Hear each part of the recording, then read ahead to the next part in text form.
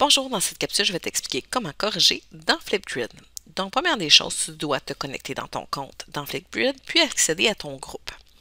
Une fois dans ton groupe, tu vas sélectionner le sujet que tu désires corriger. Donc, par exemple, ici, mon appréciation en musique. Donc, les élèves avaient un lien vers une vidéo à aller écouter et on va aller écouter la vidéo d'une élève.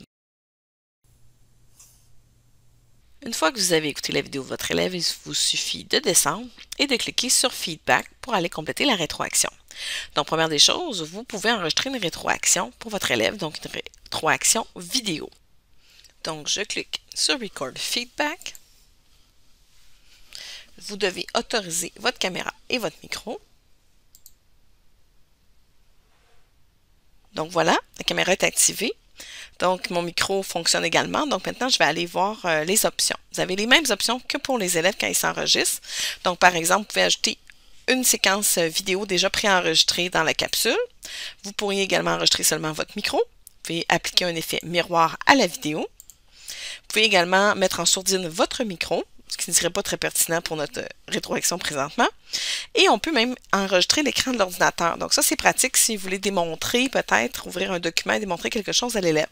Donc tu te rappelles, par exemple, euh, tes diverses stratégies, montrer la fiche des stratégies.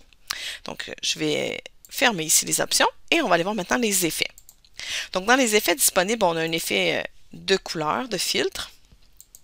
Et dans les filtres, on a également le filtre de pixelisation si on le désire l'activer. Donc je vais le désactiver pour ma rétroaction. Ensuite, on peut ajouter du texte. Donc, par exemple, je vais choisir le classique et je vais écrire peut-être un beau bravo en gros pour accompagner ma capsule. Donc, voilà. Je peux le déplacer. Je peux même le retourner, le rapetisser. Donc, euh, voilà. Bravo. Je vais retourner aux autres effets. Donc ici, on a Ink, c'est pour annoter avec un crayon, donc je ne vais pas utiliser cette option dans ma capsule vidéo.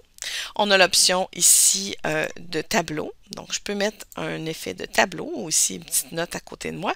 Et avec le curseur dans le bas, vous pouvez déplacer comme ça la largeur occupée par le tableau. Donc je vais désactiver le tableau. Voilà. Ensuite, vous avez également des euh, stickers, des autocollants. Donc, il y en a plusieurs qui sont euh, nouvellement arrivés dans Flipgrid. Donc, vous pouvez mettre un gros sticker pour féliciter votre élève.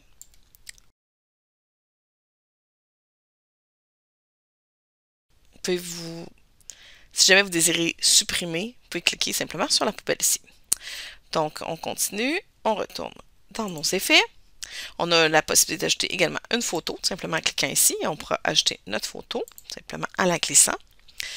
Et la dernière option, c'est les frames, les contours. Donc, on peut mettre un contour, voilà, pour accompagner notre rétroaction.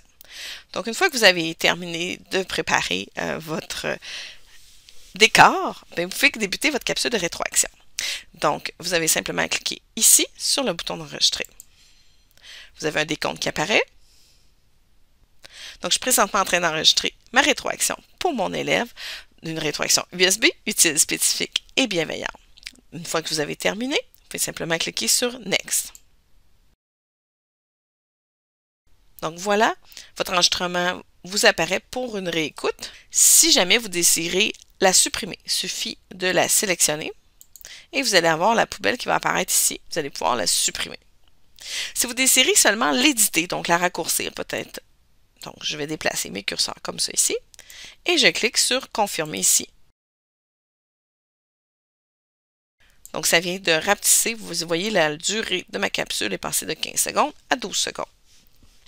Ensuite, vous pouvez également ajouter à votre rétroaction si vous oubliez de donner une information importante à l'élève en cliquant sur Add More. Une fois que vous avez terminé de réécouter votre rétroaction que vous êtes satisfait, vous cliquez sur Next. Ici, on vous permet de modifier le cover de votre vidéo. Vous pouvez cliquer sur Select Frame pour choisir un moment précis de la vidéo comme cover photo. Vous pouvez également prendre un selfie, uploader une photo ou euh, même euh, ajouter un name tag. Mais là, présentement, je ne vais pas utiliser aucune de ces options. Je vais faire simplement confirmer. Je clique sur Done. Voilà, ma rétroaction va apparaître ici pour l'élève. Donc, on voit maintenant ici ma rétroaction vidéo apparaître pour l'élève.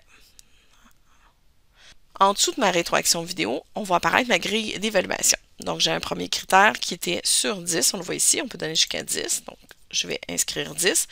Vous n'avez pas à cliquer nulle part pour enregistrer, ça s'enregistre automatique. Ensuite, j'ai un deuxième critère, donc sur 5. Donc, je peux donner 4 sur 5. Je peux même écrire ici un petit message en privé à l'élève. Donc ici, on peut même copier le lien directement vers la rétroaction si on le désire. On peut envoyer un courriel à l'élève avec la rétroaction. Sachez que dans ce cas-ci, c'est en gris parce que mes élèves ne se connectent pas à l'aide de leur courriel dans la plateforme, mais bien à partir d'un compte que j'ai moi-même créé. Donc, il n'y a aucun courriel associé aux élèves. Donc, voilà pourquoi cette option est présentement grisée. Donc, j'ai maintenant terminé ma rétroaction pour mon élève. Voilà, c'était comment corriger et enregistrer sa rétroaction dans Flipgrid.